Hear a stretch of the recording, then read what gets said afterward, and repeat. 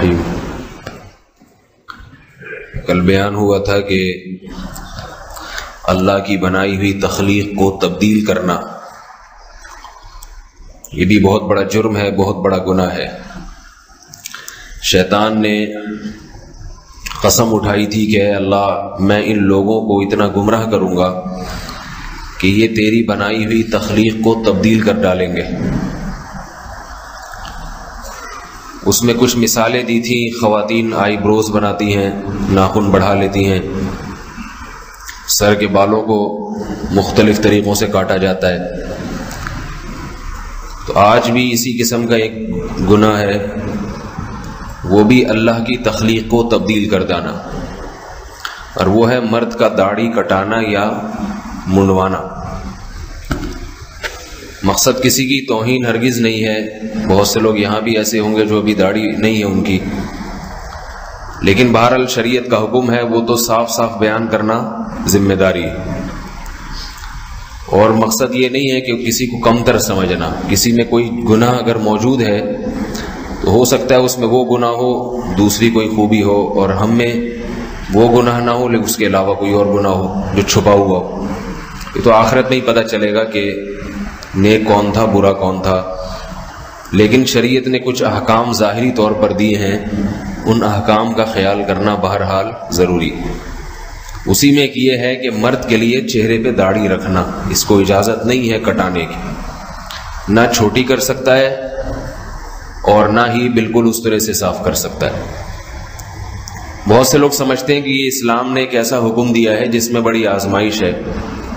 حقیقت میں یہ آزمائش نہیں ہے، بلکہ انسان کی فطرت ہے، مرد کی فطرت ہے۔ جیسا لباس، جیسی وضاقتہ مرد کی فطرت کا تقاضا ہے، نیچر کا تقاضا ہے۔ اسلام اسی چیز کا حکم دے گا، فطرت سے ہٹائے گا نہیں کبھی۔ قرآن مجید میں اللہ نے اسلام کی جو تعریف کی، فرمایا، فطرت اللہ فطر الناس علیہ یہ وہ فطرت ہے جس پہ میں نے لوگوں کو پیدا کی یہی وجہ ہے کہ ہزاروں سال، لاکھوں آدم علیہ السلام سے لے کے آج سے دو سال، دو سو، تین سو سال پہلے تک پوری دنیا میں کہیں داڑھی کاٹنے کا تصور ہی نہیں تھا۔ نہ انگریزوں میں، نہ مسلمانوں میں، نہ سکھوں میں، نہ ہندوؤں میں۔ کوئی بھی دنیا میں مرد داڑھی نہیں کاٹتا تھا۔ فرعون کی داڑھی کا ذکر بھی ملتا ہے قرآن مجید میں۔ کافر بھی رکھتے تھے، مسلمان بھی۔ اس لیے کہ یہ مرد کی علامت سمجھی جاتی تھی۔ مرد ہے تو چہرے پہ داڑھی ہوگی۔ تو جیسے کافر اللہ کی بنائی ہوئی فطرت سے ہٹنا شروع ہوا تو الٹے الٹے کام شروع کر دیے۔ تو اسی کاموں میں سے ایک یہ کہ انہوں نے داڑیاں کاٹنا شروع کر دی۔ یہی وجہ ہے کہ آج سے دو سو سال پہلے کے فقہا جب داڑھی کا تذکرہ کرتے ہیں تو عجیب الفاظ استعمال کرتے ہیں۔ علامہ شامی رحمۃ اللہ علیہ فرماتے ہیں وہ اما یف بعض المغاربتی والمخنثۃ من الرجال من حلق اللحیتی وقصه فلم يبح احد کہا کہ مغرب میں، یورپ میں بعض لوگ جو داڑیاں کاٹتے ہیں، بعض لوگ۔ یعنی مغرب میں بھی، اس وقت یورپ میں بھی سب نہیں کاٹتے تھے۔ بعض لوگوں میں جو دستور ہے داڑیاں کاٹنے کا، اور وہ مردانگی کے خلاف ہے، تو اس کو کوئی بھی دنیا میں حلال نہیں کہتا۔ تو اس سے اندازہ لگانا چاہیے کہ یہ بدت زیادہ پرانی نہیں ہے۔ یورپ میں بھی یہ بعد میں آئی ہے۔ تو انسان کی فطرت ہے۔ اسی وجہ سے رسول اللہ صلی اللہ علیہ وسلم نے فرمایا کہ دس چیزیں پیغمبروں کی فطرت ہیں، پیغمبروں کی خصلت ہیں۔ پیغمبروں کی مثال اس لیے دی کہ پیغمبر ہمیشہ وہی کام کرتے ہیں جو واقعتاً فطرت کے مطابق ہوتا ہے۔ کوئی ایسا کام پیغمبر نہیں کرتے جو فطرت کے خلاف۔ پیغمبر کبھی معاذ اللہ نشہ نہیں کریں گے، سگریٹ، پان، تمباکو، یہ چیزیں پیغمبروں کی غذاؤں کا حصہ نہیں ہوتی۔ پیغمبروں کی غذائیں بڑی پاکیزہ ہوتی ہیں، صاف ستھری غذائیں۔ ہمیشہ ایسا کام کریں گے جو نیچر کے مطابق تو آپ صلی اللہ علیہ وسلم نے فرمایا، دس چیزیں پیغمبروں کی فطرت ہیں۔ ان دس چیزوں میں داڑھی بڑھانا مونچھے گھٹانا۔ مونچھوں کو بڑھا دینا ایک دم بہت زیادہ سکھوں کی طرح، یہ فطرت کے خلاف ہے، یہ اس میں وحشت ہے۔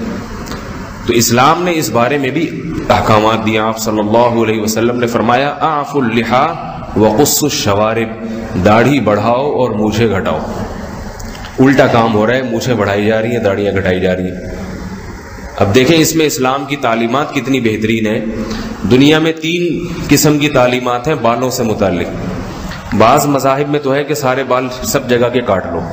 ہندوؤں میں دیکھا ہوگا، ان کے پنڈت بھویں تک اس طرح سے صاف کر لیتے ہیں۔ سر بھی صاف موچھے بھی صاف، داڑھی بھی صاف، اور بھویں بھی، اور عجیب سے بن کے وہ کوئی عبادت وبادت کرتے ہیں۔ پھر سکھوں میں یہ ہے کہ کہیں کے بھی نہیں کاٹو۔ تو ان کے تو مونچھیں بھی، ان کی داڑھی بھی نان اسٹاپ بڑھتی رہتی ہے، بغلوں کے بال بھی اور معلوم نہیں ایک جنگل سا بنا ہوتا ہے۔ اسلام نے اس بارے میں ہدایات دی ہے کہ نہ تو سب جگہ کے بال رکھنے کے ہیں اور نہ سب جگہ کے بال کاٹنے کے۔ زیر ناف بال ہیں، بغلوں کے بال ہیں، ان سے گندگی ہوتی ہے۔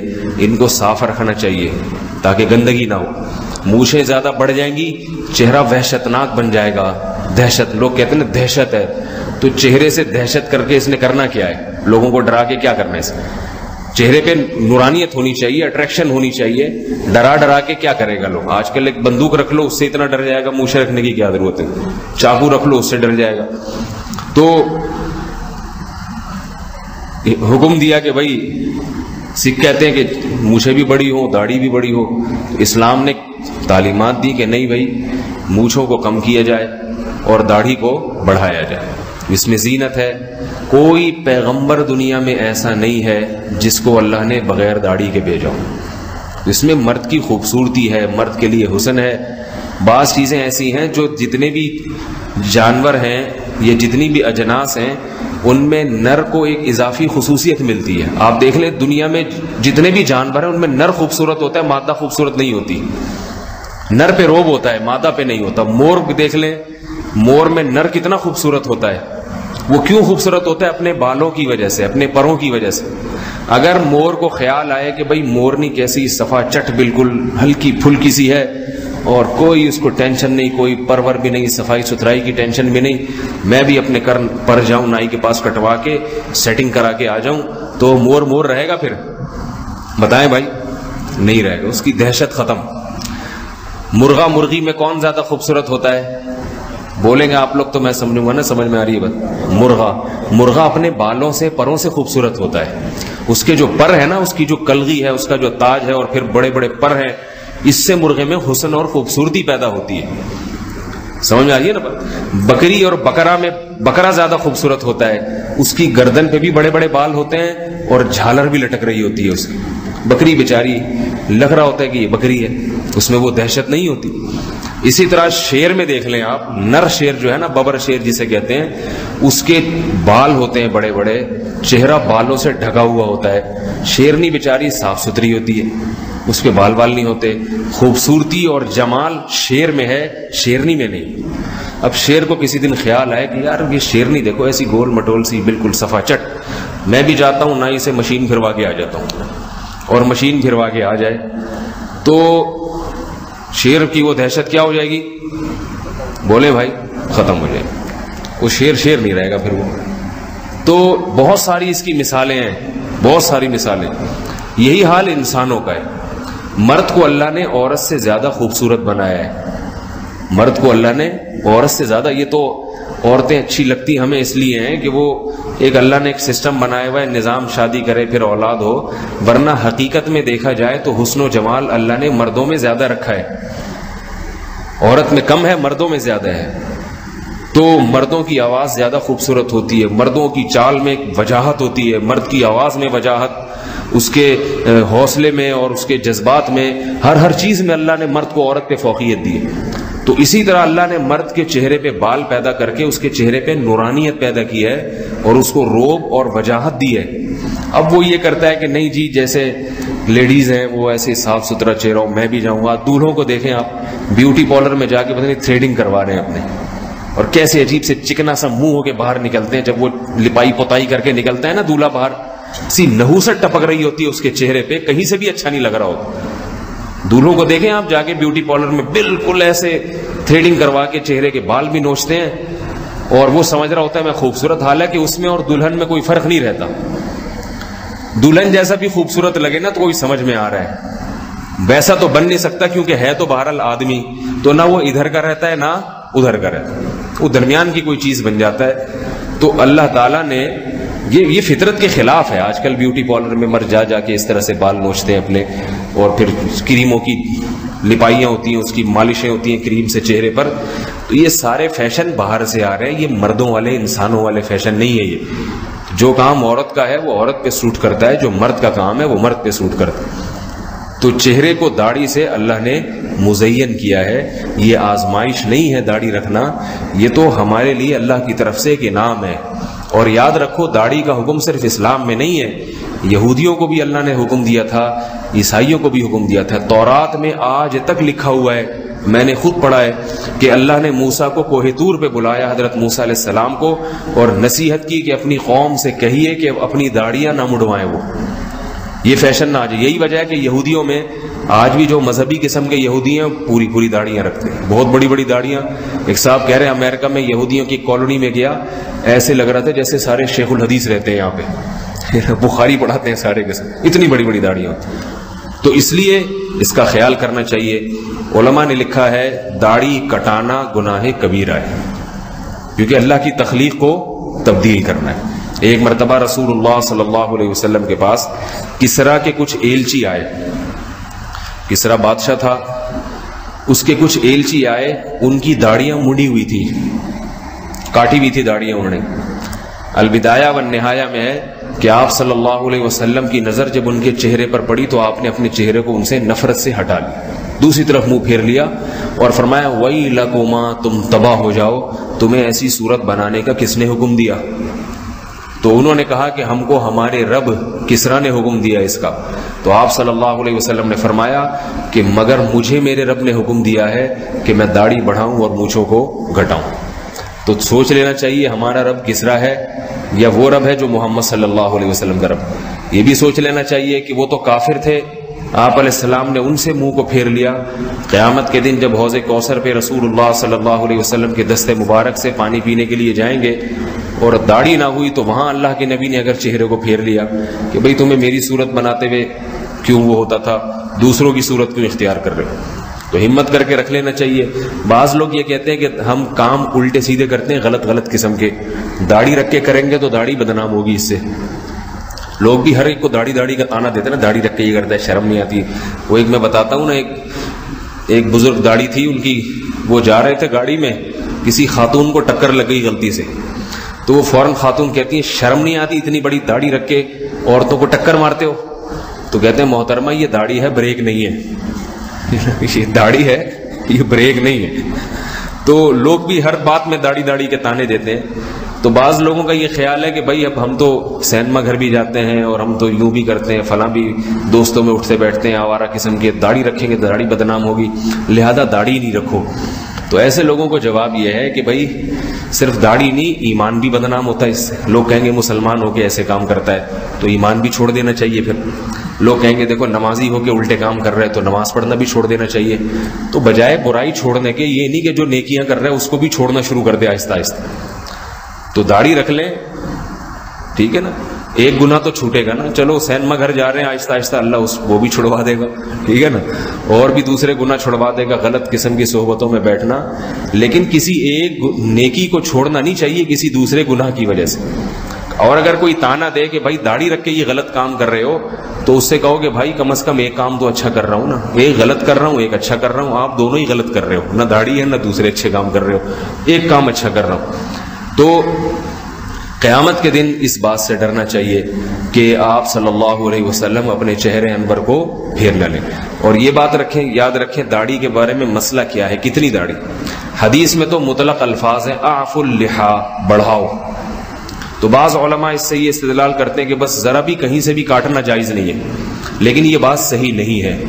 اس لیے کہ حضرت عبداللہ بن عمر رضی اللہ تعالیٰ عنہ سے صحیح صنعت سے ثابت ہے کہ آپ عمرے اور حج کے موقع پر ایک مٹھی داڑھی پکڑتے تھے، جتنے بال آئے اس سے اضافی کاٹ دیا کرتے تھے۔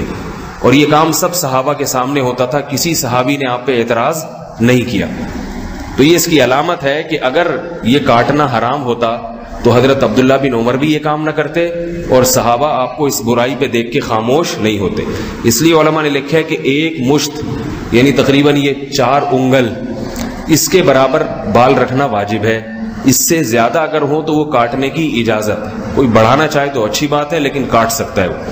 تو ہمت کر کے رکھ لیں، انشاءاللہ اس میں ثواب ہوگا۔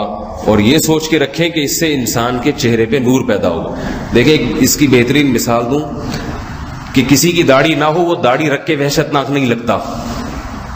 لیکن داڑھی ہو، کاٹ کے عجیب سا لگے گا وہ۔ سب کہیں گے، عجیب سا چہرہ ہو گیا۔ تو یہ بھی اس کی علامت ہے کہ رکھنے میں حسن تھا۔ تبھی تو کاٹ کے عجیب سا لگ رہا ہے اور رکھ کے کوئی عجیب سا نہیں لگتا۔ دوسرا مسئلہ اسی میں یہ مونچھوں سے متعلق بھی بتا دوں۔ مونچھیں رکھنے میں یہ ضروری ہے کہ ہونٹ کا جو اوپر کا کنارہ ہے وہ کھلا رہے۔ کوئی بالکل بہتر تو یہ ہے کہ قینچی سے بالکل کاٹ دی جائیں۔ سنت عمل تو یہ۔ احف الاحف الشوارب کے الفاظ ہیں حدیث میں۔ احفا کہتے ہیں بالکل جڑ سے کاٹ دینا، قینچی سے۔ اس طرح بہتر نہیں ہے۔ قینچی سے کاٹ کے بالکل برابر کر دینا۔ اس طرح سے بھی جائز ہے۔ اور اگر کوئی رکھنا چاہے کہ نہیں جی میں رکھوں گا تو رکھنے کی بھی اجازت ہے۔ پھر سائڈوں سے بڑھائے۔ اوپر کا ہونٹ کا جو کنارہ ہے یہ کھلا رہنا چاہیے۔ سائڈوں سے جتنی چائے بڑھا کے یہاں کان تک لے جائے، اس سے بالٹیاں اٹھائے، ٹریکٹر کھینچے جیسے انٹرنیٹ پہ آپ دیکھتے ہی ہوں گے۔ تو سائڈوں سے بڑھانا جائز ہے مجھے۔ سمجھ رہے ہیں نا؟ حضرت عمر رضی اللہ تعالیٰ عنہ کی بہت بڑی بڑی مونچھیں تھی لیکن کنارے سے بڑھائی ہوئی تھی انہوں نے۔ بعض صحابہ نے رکھی ہے مونچھیں، جائز ہے، مگر یہ جو ہونٹ کا اوپر کا کنارہ ہے، یہ کھولا رہے۔ کیونکہ یہ اگر کنارہ ڈھک جائے گا تو پانی پیتے ہوئے، کھانا کھاتے ہوئے بال جو ہیں پھر سالن میں ڈوبتے ہیں، یہ بڑی کراہیت آتی ہے۔ ہمارے حضرت فرمایا کرتے تھے جیسے لال بیگ کو جب الٹا کر دیا جائے نا، لال بیگ تو دیکھا اس کی ٹانگیں ایسے ایسے پھر ہو رہی ہوتی ہیں۔ کہتے جن کی مونچھیں اس طرح سے بڑی بھی ہوتی ہیں نا، ان کے منہ ایسے ہی لگتا ہے جیسے لال بیگ الٹا پڑا ہوا ہے۔ جب بات کرتے ہیں نا، تو وہ ایسے ایسے کر کے ٹانگیں پھر پانی میں بھی ڈوب رہی ہیں۔ چائے پیے گا، اس میں اس کی جو بال ڈوب رہے ہیں۔ تو یہ گندگی ہے، اس لیے شریعت گندگی کو پسند نہیں کرتی۔ اسلام تو بہت زیادہ صفائی ستھرائی کی تعلیم دیتا ہے۔ وہ کیسے برداشت کرے گا کہ مونچھیں پانی میں ڈوب رہی ہیں اور اسی پانی کو پھر پی بھی رہا ہے۔ تو اس لیے ہونٹ کا جو اوپر کا کنارہ ہے یہ سرخی نظر آنی چاہیے۔ تو یہ آخری درجہ ہے۔ بہتر تو ہے کہ نہ رکھے، رکھنا ہے۔ تو پھر سائڈوں سے بڑھائے اس کو۔ پولیس والوں نے بڑھائی ہوتی ہے نا، مونچھ الاؤنس بھی ملتا ہے۔ پولیس والوں کو جو مونچھ بڑھاتے ہیں تو مونچھ کے پیسے ملتے ہیں باقاعدہ۔ تو وہ جن کو پیسے چاہیے وہ پھر سائڈوں سے بڑھائیں ادھر سے بڑھا کے جتنی چائے لے جائیں تو اللہ تعالی ہم سب کو اپنے چہرے کو، اپنے حبیب صلی اللہ علیہ وسلم کی صورت کے مطابق بنانے کی توفیق عطا فرمائے۔ اور اس گناہ سے، اس رمضان میں داڑھی کاٹنے کے گناہ سے توبہ کی توفیق عطا فرمائے۔